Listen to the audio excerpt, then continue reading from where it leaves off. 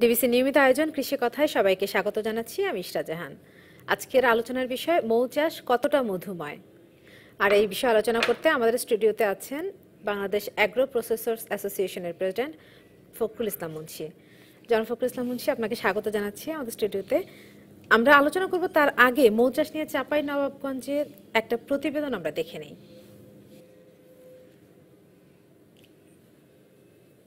ফুলে ফুলে ভরে উঠেছে সরিষা ক্ষেত। আমন ধান কাটার পর জমি কয়েক মাসের জন্য পরিত্যক্ত থাকে। আর সেই জমিতেই অতিরিক্ত ফসল হিসেবে সরিষা চাষ করে লাভবান হচ্ছেন চাপাই নবাবগঞ্জের কৃষকরা। সামান্য পরিচর্যা আর অল্প খরচে চাষাবাদ করা যায় বলে দিন দিন জেলায় জনপ্রিয় হয়ে উঠছে সরিষার চাষাবাদ। আবহাওয়া অনুকূলে এবং পোকামাকড়ের আক্রমণ না থাকায় ভালো ফলনের আশা করছেন চাষিরা। আমরা এই শস্য ধরেন কার্তিক মাসে মাঘ মাসের তুলনায় আমরা আবার চাষ করি। এখন থেকে ধরে নেন পোকামাকড় কোনো আমরা দেখতে পাচ্ছি না। এখনও পাই না মাঠে আমরা ঘুরি। খরচর আড়াই হাজার থেকে তিন হাজার আসে বিঘায়। তাতে মনে হয়েছে এবছর তাপমাত্রা খুব বেশি। ফলন কিন্তু কী আসে জানি না যদি তাপমাত্রা একটু কম হইলে ফলনটা বেশি আসতে পারে। পোকা পাকড়ের আক্রমণ নাই কিন্তু আপাতত আপনার আবহাওয়ার কারণে শস্যে মানে এবার কতটা যেগুলো একটু পানি দেওয়া আছে লাগবে শস্যে সেটা একটু ভালো লাগছে। এদিকে সরিষা ক্ষেতের পাশেই সারিবদ্ধভাবে বসানো হয়েছে মৌমাছির বাক্স। প্রাকৃতিক বিপর্যয় না ঘটলে এবছর সরিষার অধিক ফলনের পাশাপাশি মধু সংগ্রহ করেও লাভবান হবেন তারা। প্রতি সপ্তাহে মানে আট দিন, দশ দিনের মধ্যে আমরা এই মধুটা বের করি। তাতে বক্সের গ্রথের উপরে, মাছের চাপের উপরে নির্ভর করে আমাদের মধু আহরণটা। অন্যদিকে ধান চাষের চেয়ে লাভবান হওয়ায় অতিরিক্ত ফসল হিসেবে সরিষা আবাদে আগ্রহী হচ্ছে কৃষকরা। আর আবহাওয়া অনুকূলে থাকায় ভালো ফলনের প্রত্যাশা স্থানীয় কৃষি বিভাগেরও। রোপা আমন এবং সরিষা, বড় ধানের মাঝখানে যে ফাঁকা থাকতো, সেই ফাঁকা হিসাবে না থেকে অতিরিক্ত হিসাবে সরিষার চাষটা করছে। মৌ চাষিদেরকে আমাদের এই সরিষার ক্ষেতে আমন্ত্রণ জানাইছি। মানে এখানে সরিষা ক্ষেতে মৌমাছি আনাগোনা করার ফলে, ফলন এখানে পরাগায়নের ফলে এখানে কিন্তু আমাদের সরিষার ফলন বৃদ্ধি পায়। এবছর জেলার পাঁচ উপজেলায় বারো হাজার তিনশো ষাট মেট্রিক টন জমিতে সরিষার আবাদ হয়েছে। আর এইসব জমিতে বসানো হয়েছে সাতশোরও বেশি মৌবাক্স। জনাব ফখরুল ইসলাম মুন্সি, আমরা দেখছিলাম প্রতিবেদনটি। সরিষার পাশাপাশি মৌ চাষ হচ্ছে। তো আমি আপনার কাছে প্রথমে জানতে চাই যে কি কি প্রজাতির মৌমাছি আছে আর প্রজাতি ভেদে কি মধুর উৎপাদন কম বেশি হয়? মধু শব্দটাই খুব মধুময় আমরা যখন কথা বলি একটু তিক্ত ভাষায় তখন আমাদেরকে ঠাট্টা করে অনেকে বলে মা কি মধু খাওয়ায় নাই? তো নিশ্চয় এই মধু কথাই আছে না এখন বাস্তবে এটা রূপ নিয়েছে। বাংলাদেশ মধু রিজনের মধ্যে অর্থাৎ পৃথিবীর কোন কোন জায়গায় মধুটা হবে এটা বাংলাদেশ কিন্তু একটা জায়গা। আচ্ছা। তার সাথে Myanmar Vietnam Thailand China India এই জায়গাগুলি কিন্তু সীমাবদ্ধ।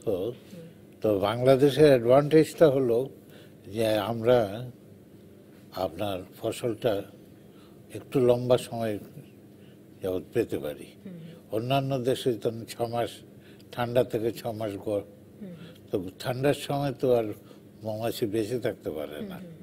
আমাদের এখানে যেহেতু ঠান্ডার প্রকোপটা কম সেহেতু এটার তো প্রকারভেদে মৌমাছি কয়েক রকম আছে হ্যাঁ। তো প্যারিস ম্যারিফেরা যেটা যেটা নাকি উৎপাদন কোনো কোনো মৌমাছিতে আপনার বিশ কেজি হয় আচ্ছা। প্রতি বাক্সে আবার কোনো কোনোটায় আপনার একশো বিশ কেজি হতে পারে। তো অনেক অনেক অনেক হ্যাঁ। পার্থক্য। হ্যাঁ। তার জন্য চাষের জন্য আমরা যে জাতিটা ব্যবহার করি সেটাই প্রেস প্রেস সেটা আচ্ছা। যে আপনার একশো বিশ কেজি পর্যন্ত মধু হতে পারে। আচ্ছা। তো মধু হওয়ার পিছনে অনেকগুলি কারণ কিন্তু কাজ করে। এটা হলো একটা কাজ যে আপনার যে ফাউন্ডেশন সিট বলে যেটা চাক তৈরি হয় যেটার উপরে। এই ফাউন্ডেশন সিটটা যদি ভালো হয় তাহলে দেখবেন যে এটা হয়তো আর আপনার তিন চার ঘণ্টা বা পাঁচ সাত ঘণ্টার মধ্যেই মধুটা ওই বনের থেকে চিয়ে করে এবার হয়ে যায়। তো কাজে এইটার যেটার সাথে তুলনা হবে ধর না যেটা কোনটা আবার সাত দিনে হয়। তো এইখানে মধুর সিজনটায় কিন্তু তখন অল্প সময়ের মধ্যে দুই মাস তিন মাস কোনো ফুলের যেমন সরিষা ফুলের এটা তিন মাসের মতো ম্যাক্সিমাম যাবে। এর মধ্যে আপনাকে কাল্টিভেট করতে হবে। তো যে যত বেশি কাল্টিভেট করতে পারবে তত বেশি লাভবান হবে এবং যেই মৌমাছিটা যেটা নাকি বেশি উৎপাদন দিতে পারবে ওইটার যদি মৌমাছির ব্যবহার হয় তখন যে সেটা আরও লাভবান হওয়ার সম্ভাবনা থাকে। তো বাংলাদেশের এর যে মধুগুলি হয় তার মধ্যে সরিষা অন্যতম। তারপরে আছে আপনার লিচি কালোজিরা আম। আম এটা যেটা হয় সেটা খুব বেশি আমাদের কাছে সমাদৃত হয় না একটা কারণে। আমের যখন মুকুল আসে তখন কিন্তু পেস্টিসাইড ছড়ানো হয় তো পেস্টিসাইড ছড়ালে এবং যখন আমটার গুটিটা বাঁধে হ্যাঁ। তারপরে থেকে কিন্তু আর পেস্টিসাইড ছড়াতে কিন্তু আমটা তখন ততটা আম বরুই হ্যাঁ। এটা ফল জাতীয় যেগুলি আপনার বিচি জাতীয় ফল ওইসব গুলিতে প্রায় মধু হতে পারে। আচ্ছা আচ্ছা তো এইখানে মধু সম্বন্ধে একটু আমি আপনার সময়টা নিতে চাই। মধু মধুটা আপনার যেমন আপনার ওরা প্রত্যেক বছর ওয়ার্ল্ড কংগ্রেস বলে একটা কংগ্রেস হয় অব হানি। প্রতি দুই বছর পর পর। আচ্ছা। ওইখানে গতটা হয়েছিল আপনার সাউথ কোরিয়াতে। আমি গিয়েছি ওইটায়। আচ্ছা। তারপরে সাউথ কোরিয়ার যে সাইন্টিফিক অ্যানালাইসিস করে ওরা সাতটা ভাগ করেছে। ভাগগুলি যেরকম। হ্যাঁ, না প্রসেসটার। আচ্ছা আফটার বি কিপিং ইকোনমি এটা তারপরে আছে bee biology bee health and pollination অর্থাৎ পরাগায়ন যেটা আমরা বলি হ্যাঁ। এটা থেকে উৎপাদনটা বৃদ্ধি পায়। তারপরে আছে bee keeping technology and quality এরপরে আসে অ্যান্থ্রোপোলজি এরপরে therapy apitherapy therapy then bee keeping for rural development এইভাবে গত কংগ্রেসে ভাগ করা হয়েছিল সারটা হ্যাঁ এই সারটার উপর ডিপেন্ড করেই আবার মধুর চাষের যে ব্যাপারটা এটা আপনারা যেই প্রতিবেদনটা দেখাইছেন তাতে আপনারা উল্লেখ করেছেন মধুর কাল্টিভেশনটা শুধু। হ্যাঁ। নট দ্য আদার পার্ট হ্যাঁ। মধুর থেকে শুধু আমরা ওয়াক্সও পেতে পারি। হ্যাঁ বিভিন্ন মধু থেকে আরও অনেক কিছু পেতে হ্যাঁ। পারি আমরা। প্রপারলি করে একটা জিনিস আছে। যেটা নাকি স্বাস্থ্যের জন্য ভালো। For good health it is তারপর প্রপারলিস করে আরেকটা জিনিস আছে। আচ্ছা। এটা আপনার যাদের একটু শ্বাসকষ্টের ইয়ে আছে এটা খুব উপকারী বলে বিশ্বে একটা সমাদৃত ওষুধ হিসেবে। ব্যবহৃত। তারপর রয়্যাল জেলি মানুষের ভিগার এনার্জির জন্য রয়্যাল জেলিটা আপনার এইটাও কিন্তু উৎপাদন। কাজে এই সকল জিনিসগুলি যদি একটা মধুর চাষে আমি পরে যতটুকু লাভবান না হব বাই প্রোডাক্টগুলি যদি আমি কাল্টিভেট করতে পারি তাহলে কিন্তু আমাদের কিন্তু বাই প্রোডাক্টের ব্যাপারে কি আমরা সেরকম মনোযোগ দিচ্ছি? মনোযোগ নেই সেটাই আমার বক্তব্য। যদি আমরা ওইখানে একটু ঝোঁক দিতে পারতাম তাহলে কিন্তু আমার আমি চায়নাতে গিয়েছি মধু চাষিদের সাথে কয়েকদিন সময় কাটিয়েছি। ওদের ধর না চল্লিশটা বাক্স থাকলেই কিন্তু একটা মধু চাষির ফ্যামিলি খুব ভালোভাবে বাড়ি গাড়ি করে খায় এবং অন্যান্য মডার্ন অ্যামেনিটি ওরা কিন্তু বসবাস করতে পারে আচ্ছা আচ্ছা। জীবিকা অর্জন করতে পারে। তো ওই যে ফ্যাসিলিটিস কারণ ওরা রয়্যাল জেলটাও কালেকশন করে। ওই টেকনোলজিটা আমাদের দেশে এখনও ঠিক বেশি করে প্রচলিত হয় নাই। ঠিক তেমনিভাবে ওয়াক্সটাও করে এবং আপনার প্রপোলিন প্রপোলিস এইগুলো কালেকশন করাতে তার জন্য ভ্যালু এডিশনটা আরেকটু বেশি হয়। আচ্ছা জনাব ফখরুল ইসলাম মুন্সি মধুর চাহিদা কতটুকু বাংলাদেশে বছরে আর যোগান কতটুকু আসছে? এই সম্পর্কে আমি জানব ছোট একটা বিরতি নিয়ে তারপরে। দর্শক কৃষি কথা ছোট বিরতি নিচ্ছি সাথেই থাকুন। আপনারা দেখছেন কৃষি কথা। মৌ চাষ কতটা মধুময়? এ প্রসঙ্গে কথা বলছিলাম। আমাদের সাথে আছেন বাংলাদেশ অ্যাগ্রো প্রসেসর্স অ্যাসোসিয়েশনের প্রেসিডেন্ট ফখরুল ইসলাম মুন্সি। জনাব ফখরুল ইসলাম মুন্সি, আমরা, আমি আপনার কাছে বিরতির আগে বলেছিলাম যে আমি জানতে চাইব যে মধুর চাহিদা কতটুকু বাংলাদেশে বছরে আর যোগানটা কি পরিমাণ? সেই সাথে আরও একটা প্রশ্ন করতে চাই যে মৌমাছি বছরের কি একটা নির্দিষ্ট সময়ে মধু আহরণ করে নাকি পুরো বছরটা ধরেই করে? এই এই সম্পর্কে আপনার কাছে জানব, তার আগে আমরা ছোট্ট একটা প্রতিবেদন দেখে আসতে চাই। সিরাজগঞ্জের একটা প্রতিবেদন আমরা দেখব। সিরাজগঞ্জ জেলার তারাস, রায়গঞ্জ ও উল্লাপাড়া উপজেলার অন্যতম অর্থকরী ফসল সরিষা। প্রতি বছরের মতো এবছরও চলনবিল অঞ্চলের তিন উপজেলার প্রায় চুয়ান্ন হাজার একশো পঁচানব্বই হেক্টর জমিতে বাড়ি চোদ্দ, পনেরো ও সাতচল্লিশ জাতের সরিষা আবাদ করা হয়। আবহাওয়া অনুকূলে থাকায় এবার সরিষার ব্যাপক ফলন হওয়ায় খুশি কৃষকরা। তবে তাদের অভিযোগ সরিষার ফুল থেকে মধু সংগ্রহ করার জন্য আনা মৌমাছি ফসলের উৎপাদন ব্যাহত করছে। দুই হাজার টাকা থাকে তাহলে এবার লাভ হবে আমাদের। সরিষা আলাদা দিলে খুব ভালো। এই বছরের যে পরিবেশ এই পরিবেশ যদি বিরাজ করে যদি এই আবহাওয়াটা বিরাজ করে তাহলে অত্যাধিক ভালো হবে বলে আমরা আশা করতেছি আর কি। এদিকে প্রতি বছর এখানকার উৎপাদিত মধু বিভিন্ন বেসরকারি প্রতিষ্ঠান কিনে বাজারজাত করে থাকে। কিন্তু এবছর এসব প্রতিষ্ঠানগুলোর তেমন কোনো সাড়া না পেয়ে মধু বিক্রি করা নিয়ে সংশয়ে রয়েছেন মৌচাষিরা। এখানে এসে দেখলাম প্রচুর ফুল ফুটছে। কালেকশনটা করে মানে তোমার মধুটা কোম্পানি বিভিন্ন কোম্পানিতে ছাউলি দেয়। এপি স্কোয়াড ইবলিসিনা হার্বাল আর বেসিক এরকম কিছু কোম্পানি আছে তারা মধু অন্য বছর নিত। এই বছর তাদের কোনো সারা শব্দ কিছু নাই। এখানে মধু সংগ্রহ করতে গিয়ে এখানে মানুষজন যেভাবে চাপ সৃষ্টি করছে এভাবে তো চাপ সৃষ্টি করলে আমাদের ব্যবসা করার কোনো ইয়ে ইয়েই নাই। একই জমিতে কম খরচে দুটি পণ্য উৎপাদিত হওয়ায় কৃষক ও মৌমাছি উভয়ই লাভবান হচ্ছে। তাদের সমস্যা নিরসনে বিভিন্নভাবে কাজ করছে কৃষি বিভাগ। আর অনেক সময় মৌচাষিরা অনেক ধরনের সমস্যার সম্মুখীন হয় যে কৃষক তাদেরকে বসতে দেয় না। ওই অঞ্চলে যার কৃষক আছে তাদেরকে বলে আসছি যে আপনারা শস্য ক্ষেত্রে মধুটা বসতে দেন এটা আপনাদের জন্য উপকার হবে। যেহেতু আপনারা পাশাপাশি উৎপাদনটা বৃদ্ধি হচ্ছে। জেলায় প্রায় চোদ্দ হাজার চারশো পঁচাত্তরটি মৌবাক্স বসানো হয়েছে। যা থেকে প্রায় চোদ্দ হাজার একশো তিরিশ মেট্রিক টন মধু সংগ্রহের সম্ভাবনার কথা বলছে কৃষি সম্প্রসারণ অধিদপ্তর। DBC news desk.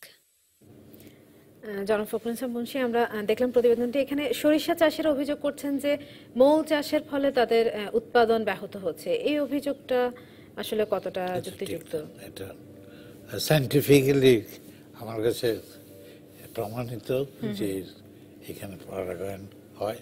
মানে পরাগন যত বেশি হবে উৎপাদন তত বেশি হবে আমরা সেটাই জানি। কয়েক প্রায় পনেরো থেকে বিশ পার্সেন্ট প্রোডাকশন বেশি হবে পনেরো থেকে বিশ শতাংশ। তাহলে এই অভিযোগের কারণটা কি? ওইটা ওনারা হয়তো বা কোনো কারণে ঠিকভাবে চাষ করতে পারেন নাই। আচ্ছা। ওনার ফসলটা ঠিকভাবে কালেকশন হয় নাই। বা অনেক সময় বৃষ্টিতে ওয়েদারও কন্ডিশনগুলি অনেক সময় ফেভারেবল ছিল। আসলে সাইন্টিফিক্যালি যদি আপনি অ্যানালাইসিস করতে যান এটাতে কোনো ক্ষতি হয় না বরং সব লাভবানই হওয়ার সম্ভাবনা বেশি। আচ্ছা সেই আগের প্রশ্নে আমি যেতে চাই যে বাংলাদেশে মধুর চাহিদা কতটুকু এখন আর যোগান কতটুকু পাচ্ছি? বাংলাদেশে মধুর চাহিদা অনেক। যেহেতু আমাদের অনেক এই মধু সেবন করার একটা আছে এবং বাংলাদেশে আগে যেটা প্রচলন ছিল না এখন যে মধু চায়ের সাথে মধু দিয়ে খায় হ্যাঁ শরবতের সাথে খায় পায়েসের সাথে খায় বিভিন্ন ইয়েতে আইটেমে এখন কিন্তু মধুর প্রচলনটা হচ্ছে। এমনও আমি দেখেছি অনেকে সুযোগ এমনি নাস্তার সময় রুটির সাথে মেখে খায় এমনি ঢকঢক করে অনেককে খেতেও দেখেছি।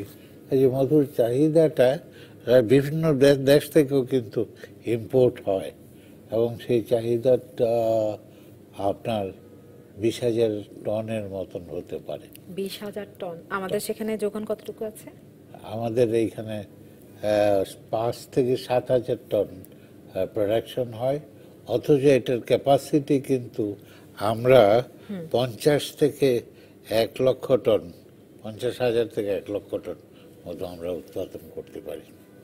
যেহেতু যেহেতু আমাদের ফার্মাররা খুব অল্প টাকার ব্যবসা করেন তাদের অর্থটা সাহায্য করার জন্য এরকমভাবে ব্যাংক বা আদার ইনস্টিটিউট থেকে পান।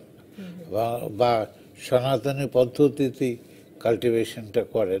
আধুনিক পদ্ধতিতে যাওয়ার যেই একটা অর্থ সম্বলের দরকার হয় সেটা অনেক সময় হয় না। ঋণ বা এই সকল কারণে। কি কৃষকরা মানে চাষিরা পাচ্ছেন না মধু চাষ যারা করছে? ঋণ- দেওয়ার বর্তমান সরকার ঋণও দিচ্ছে। এখন এটা আজকে দু বছর যাবত আমরা সংগ্রাম করে যেটা ই করেছি করেছি সরকারও অনুধাবন করেছেন এবং এখন মধু চাষিদেরকেও লোন দেওয়া হয়। তবে যেহেতু মধু চাষিরা আপনার একটা ওই কোনো স্থায়ী কোনো জায়গায় থাকে না এক জায়গা থেকে আরেক জায়গায় যায়। তাকে যে ইন্ডাস্ট্রি তো তাদের যন্ত্রপাতি যা আছে সব নিয়ে বিভিন্ন জায়গায় যেতে হয়।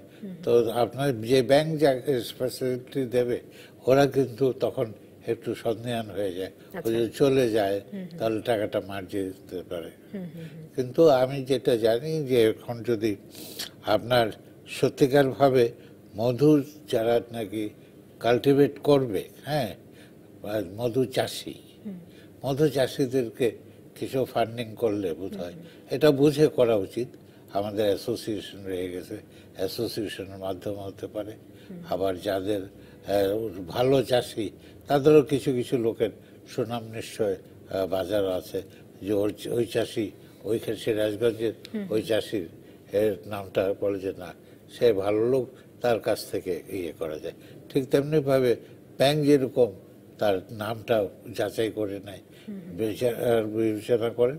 কিন্তু এটা যদি লার্জ স্কেলে না করা হয় ইন্ডাস্ট্রি হিসাবে যদি না করা হয় হ্যাঁ একটা আপনার ভিয়েতনামে আপনার একটা মৌ ও কোম্পানিতে আপনার তাদের বাক্স থাকে দশ থেকে বিশ হাজার বাক্স ত্রিশ হাজার বাক্স হ্যাঁ। সেখানে আমাদের চাষিদের কাছে থাকে পঁচিশ থেকে তিরিশটা বাক্স। পঁচিশটা বিশটা বাক্স। এও আবার বাক্সর কিন্তু প্রকারভেদ আছে।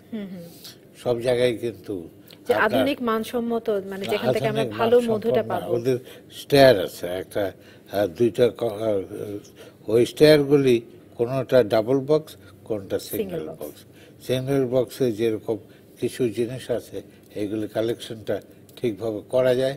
আবার আরেকটা আছে করাটা কম হয়তো ততটা প্রোডাকশন আসে না। হ্যাঁ। তার মানে আমাদের কাজে আমাদের প্রশিক্ষণটা বর্তমানে অনেকেই দিচ্ছে।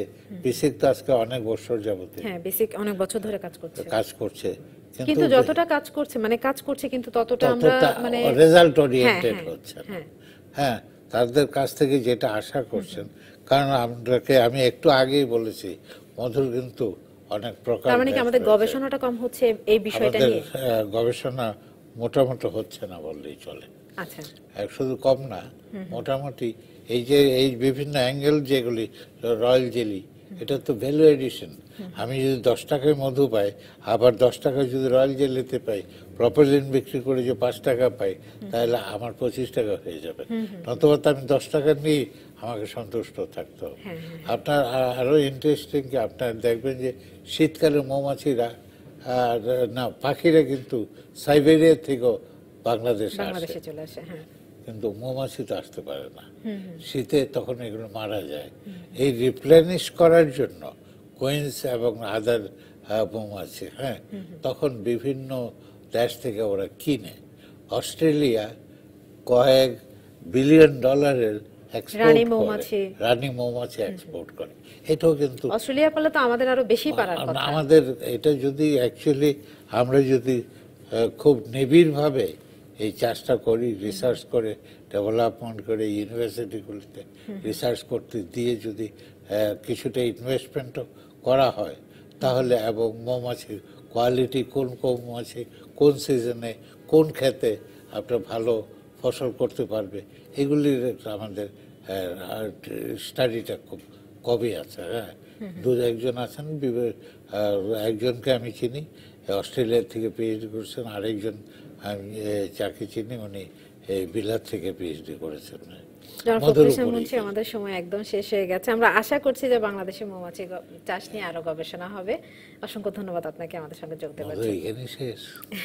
মধু এখানেই শেষ। দর্শক এই ছিল আমাদের কৃষিভিত্তিক নিয়মিত আলোচনা অনুষ্ঠান কৃষি কথায়। আমাদের আজকের আলোচনা বিষয় ছিল মৌচাষ কতটা মধুময়। আর এই বিষয়ে আলোচনা করতে আমাদের স্টুডিওতে উপস্থিত ছিলেন বাংলাদেশ অ্যাগ্রো প্রসেসর্স অ্যাসোসিয়েশনের প্রেসিডেন্ট ফখরুল ইসলাম মুন্সি। আগামীকাল দেখা হবে অন্য কোনো বিষয় নিয়ে, অন্য কোনো অতিথির সঙ্গে। এরপর ছটা ডিবিসি সংবাদ নিয়ে আসবেন শোভন আরেফ। ডিবিসির সঙ্গেই থাকুন চব্বিশ ঘণ্টা।